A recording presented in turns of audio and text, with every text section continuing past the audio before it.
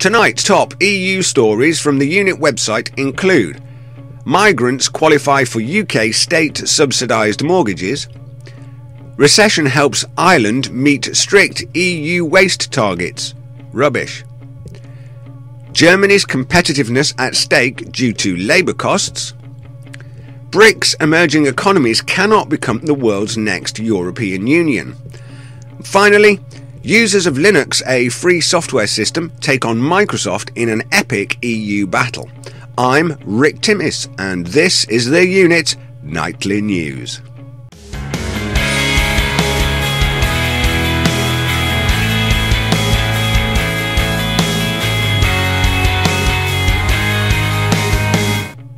First, from our homepage. Analysts of plans set out by Chancellor George Osborne to make it cheaper for people to take out loans shows that people from inside and outside the European Union can qualify. More legal supremacy by the EU, once again demonstrating the loss of sovereignty which has secretly taken place in Britain. Here's the nub of legal precedent.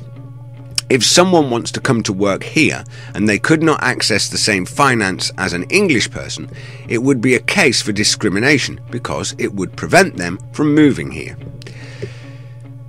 It is such a terrible shame that all of this was warned in the Foreign and Commonwealth Office document 301048 way back in the early 1970s. This has indeed come to pass. What should have been a shining example of how to grow and develop a European wide democratic community has in fact been mismanaged into a bureaucratic, totalitarian mutation of the old Soviet mechanism. The moment you step away from the principle of governance of the people, by the people, all bets are off. You can say what you like about the British, but we do have a fine and extensive history of how to run a democracy. Recession and a marked fall in personal consumption has helped Ireland meet all but one of its EU waste recovery targets. The article reports that figures released show a 17% decrease in household waste. It then goes on to spin this up into a positive. But is it? Well, I don't believe so. As I predicted earlier in this week, the press campaign to paper over the cracks by EU spin doctors is really only a temporary band aid. The reality is that Ireland's bond debt is doubly subscribed. AIB, for example, carries debt agreements which are positions held by multiple investments who have a claim to the same monies, a recipe for implosion. No country can hope to borrow its way out of this situation. Austerity and tax hikes are only making things worse. The bailouts are simply kicking the can down the road. Look, ministers of the dark towers of the EU, go back to basic O level geography. No country can operate without primary and secondary industry. Germany, the richest nation in the Eurozone, has been propping up too much of the EU for too long, and she and her people are feeling the pain. But there is another cloud on the horizon labour costs. As countries in the Eurozone collapse, their people become more impoverished and are forced to work harder for less. This is causing an upward drift for German labour costs, taking them above average and making them less competitive. Here is a big conundrum, however.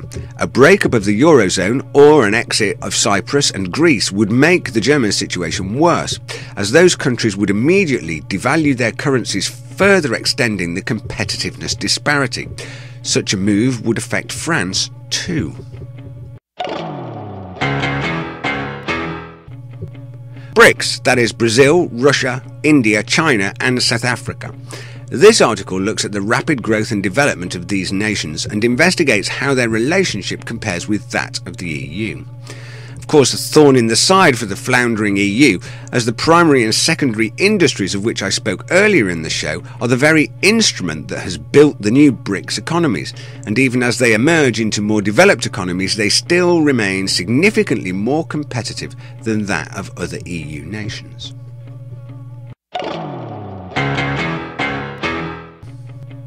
Ah, free and open source software, my favourite topic. I'm very passionate about the possibilities that the global free software movement has demonstrated. I could talk on this topic for hours, but before I get to the core of the article, I just want to mention something. Debian, one of the founding Linux operating systems, shows the beauty and power of an open, democratic meritocracy. The very fact that you have a global internet with trillions of websites, a planet wide hive collation of information within which resides the complete works of human innovation, can in a huge number of ways be attributed to the Debian GNU Linux software operating system. Developed, distributed, and managed by a global workforce that transcends national boundaries, economies, and fiat currencies. I declare this to be the shining example of the social and political world to come. Okay, sermon over. Let's take a look at this article. Spanish users of the Linux operating system are taking Microsoft on in an epic battle over more anti competitive behaviour. Microsoft uses its market dominance to press computer manufacturers in Europe to only sell computers with its operating system installed. The Washington based behemoth has gone one further, however, by introducing a locking mechanism that hardware vendors must implement that makes it much more difficult for the consumer to install any other operating system onto their newly bought machine.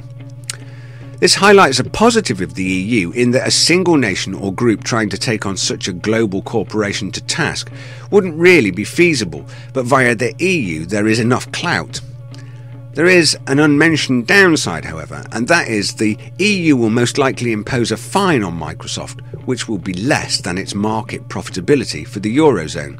And so Microsoft is left with a simple equation pay a higher tax and retain market dominance, or open up the vendor space and lose market share to a better developed, faster, and more secure operating system that has a much lower price tag and a more cost efficient development model.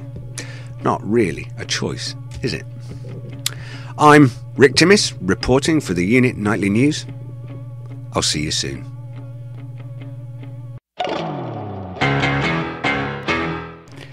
You can get lots more news stories and information on our website, theunit.com. You can get in touch with us there, and we particularly welcome your letters and points of view. You can follow us on Twitter. Our Twitter username is the E Unit. Remember to subscribe to our YouTube channel for all of our regular updates. You can join me and the rest of the team for interactive discussion and debate on Google Plus at any time. Are you looking for a public speaker for your event? Our public speakers are happy to come and discuss Britain's relationship with the EU in your area at no cost. If you would like to add interest and value to your group event, then get in touch with us via the Words section of our website. Join us in our live question time style online show, The Unit Interactive, broadcast live on our website, theunit.com, and globally via thehangoutshow.com. Join our community on Google Plus and you can be part of the wider public voice, united in freedom, liberty, and independence. Simply join our community, the unit on Google Plus. Links to the community page are below.